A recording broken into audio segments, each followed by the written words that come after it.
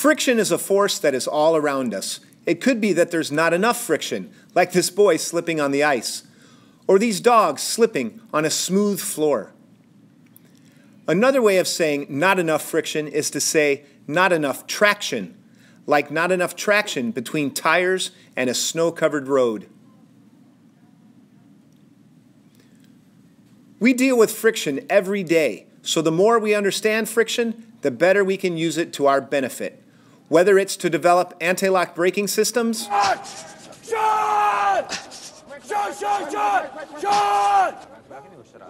or just for fun and sport. Friction allows geckos to walk on vertical surfaces.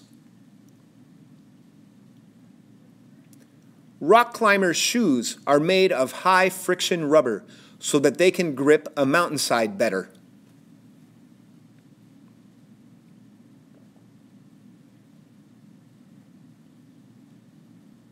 And we know that friction causes heat. Here, with the aid of an infrared camera that sees heat, a person warms his cold hands with friction by rubbing them together. Here's an outdoorsman using friction between a rotating stick and a piece of wood to start a fire.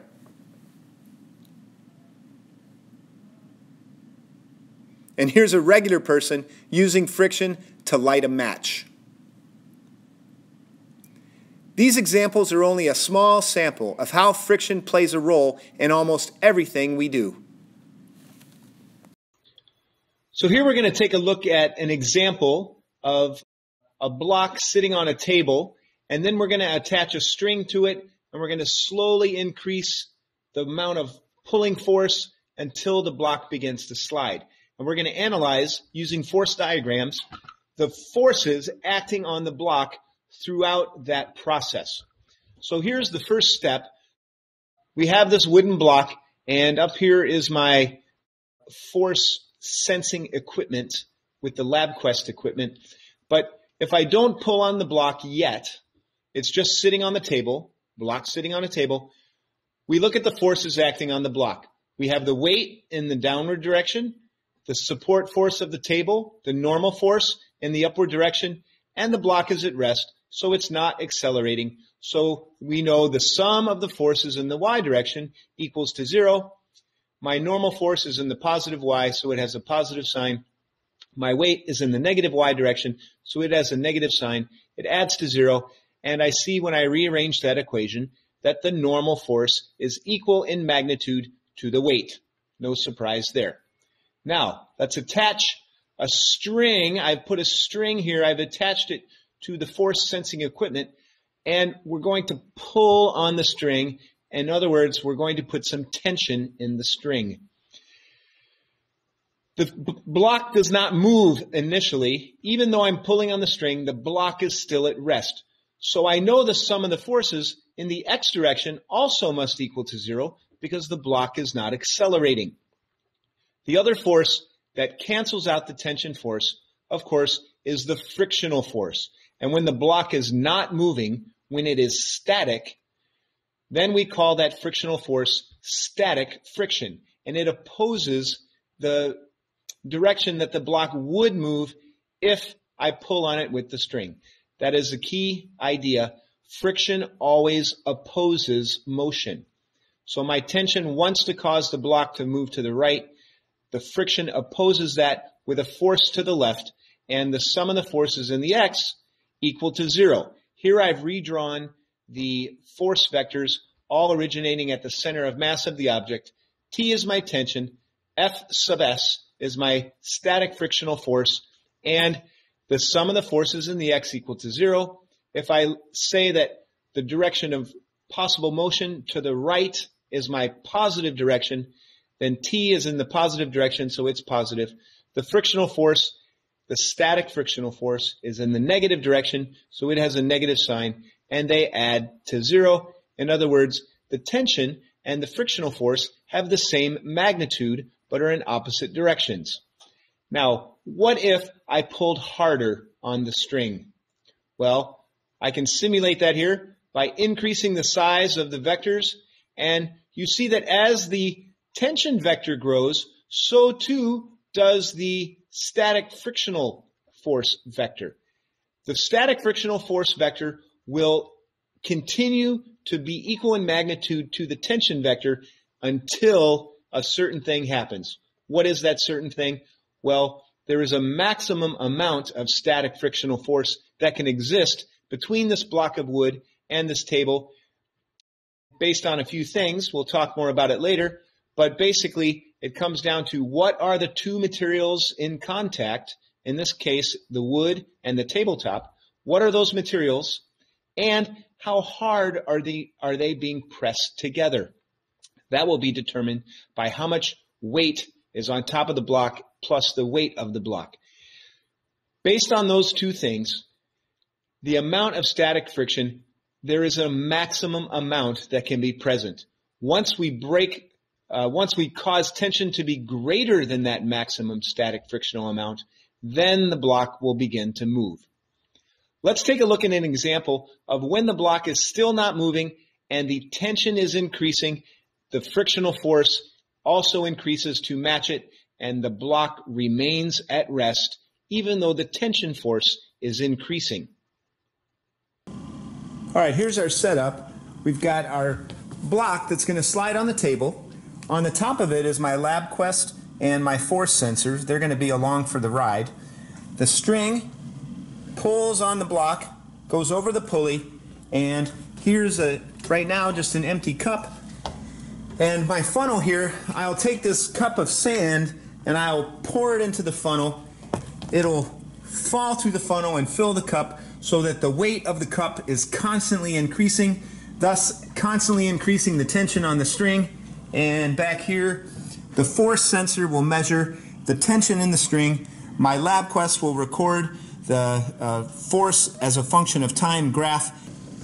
Okay, we're ready to go. I've got one camera filming the LabQuest so we can see what's going on there at the same time that we perform the experiment.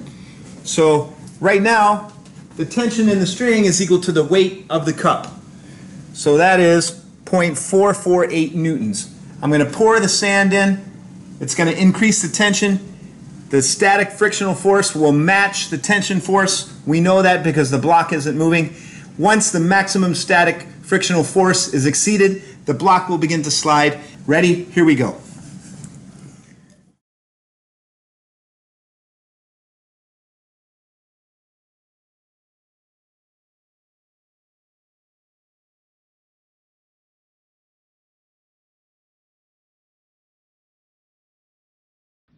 So here's the graph that was generated by the LabQuest. Let's point out a few important spots on the graph. Here we go. This is the weight of the cup. So this is before I poured sand in the cup. This is the tension in the string just from the weight of the cup. Then, as I poured sand into the cup, the weight of the cup increased, and so the tension in the string increased. And right up here, is where we reached maximum static frictional force and the cup began to slide and it did not slide for very long.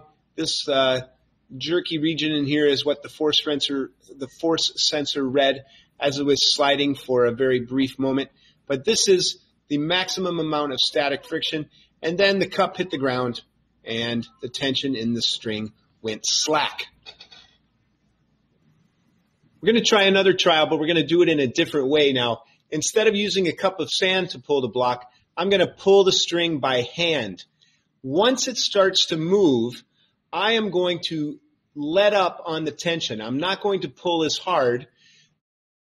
And I'm going to get the block to slide across the table at constant velocity.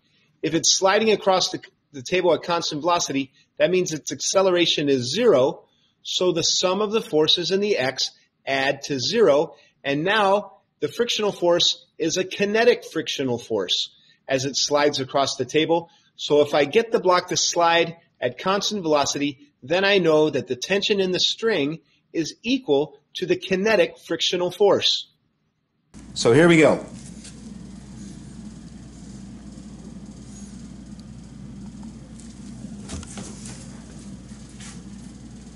I'm increasing the pull. There, I've entered kinetic frictional force now. And there's our result. So here's a close-up look at the graph. I started to pull. The force in the string, the tension got greater and greater up to the maximum static frictional force, which we see was about 4 newtons. Then the block began to slide, and I pulled – so that the block moved with constant velocity. And in this region, we see the kinetic frictional force is only about 2.6 newtons. The force sensor jerks around a lot as the block slides. So what I did was here was take the average of all these uh, values, and that's what this is here, 2.58. But what we see here is that the kinetic frictional force is less than the maximum static frictional force, and that's always going to be true. So friction depends upon two main things. What are the two surfaces in contact with one another? What are they made out of? And how hard are they being pressed together? changes to the texture of the surfaces, such as being rougher or smoother, and changes in the temperature, both of those affect friction, but for now we'll assume those don't change. Experimentation has shown that for two given surfaces, the ratio of the frictional force and how hard they're pressed together remains basically constant. So here is an experiment that you're going to do in lab next week. First, we're going to start off by looking at static friction. And what I've done is I've taken three different measurements. I have generated a graph, just like we've seen previously in the video, for three different weights. I'll do the block by itself, and then the block with some added weight, and then finally the block with even more added weight. So I get these three data points and I'm graphing the amount of peak static friction or maximum static friction. So that's this value here on my graph. And I plot that on the y-axis as a function of the normal force. The normal force is a measure of how hard two surfaces are being pressed together. And when I make that graph, I see it as a straight line. And so the slope of that line is the ratio of the y-axis to the x-axis. So if Fs max is on the y-axis, the normal force is on the x-axis, so that ratio is the slope, and I give that a name. I call it the coefficient of static friction. And then I can rearrange that equation to show that the maximum static frictional force is equal to the coefficient of static friction times the normal force. I can do the same thing for the kinetic friction. Here is a, a, another experiment in which I ran three trials, and for each three trials, I added more weight to the block to give me a different normal force. And then from each graph, I recorded the kinetic frictional force, which is this value here, and I made a graph with the kinetic friction on the y-axis, the normal force on the x-axis, and now the slope of the line is the ratio of the kinetic frictional force to the normal force. And as you might guess, we call that the coefficient of kinetic friction. And when we rearrange that equation, we see that the frictional force, the kinetic frictional force, is equal to the coefficient of kinetic friction times the normal force. And of course, as we said before, here we see the kinetic frictional force about 0.25 and the static frictional force about 0.39. So like we said, the kinetic frictional force is always less than the maximum static frictional force. All right, so let's summarize what we've learned here.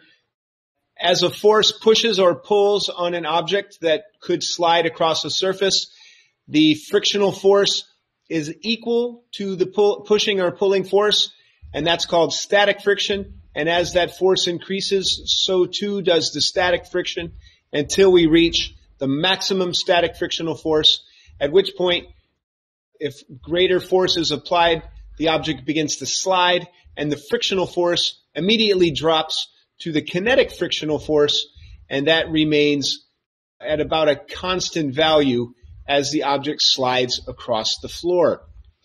We also said that the kinetic frictional force is always less than the maximum static frictional force.